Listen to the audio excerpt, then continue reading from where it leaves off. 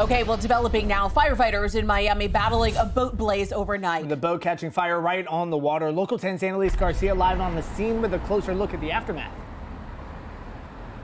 Andrew Alex, this boat is a total loss. They did just tow it out of the water and into this area behind us. Take a look for yourself. You can see the charred damage right there to the boat.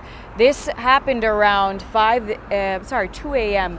this morning. This was at a marina on Northeast 78th Street. This is Northeast Miami. Now let's take you to a few photos so you can see the flames that Miami Fire Rescue sent us these photos.